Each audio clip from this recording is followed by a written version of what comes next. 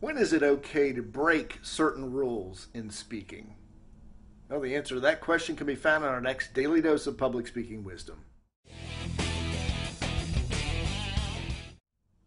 I'm shooting this video from my hotel room in Knoxville where I'm working a client event for the next couple of days.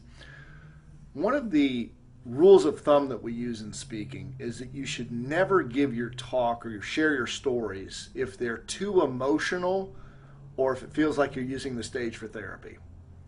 As a general rule, that's pretty good because we don't want people breaking down and sobbing and not getting their message out. However, today I saw an exception to that rule. I listened to a moving and extremely emotional presentation by a woman named Cindy Hess. 14 months ago, Cindy lost her son Zach to a construction accident.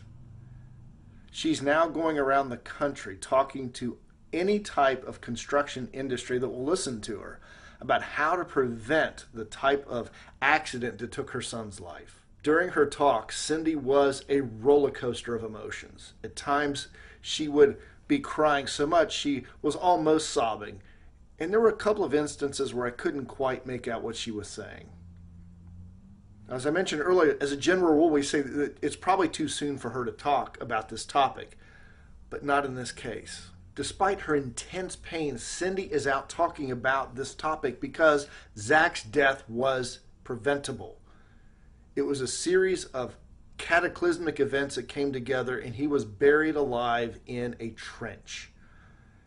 And what upsets her more than anything about this is that the people on site were not trained her son died needlessly. And she told me, Mike, she said, all I want to do is prevent any family going through what we've gone through.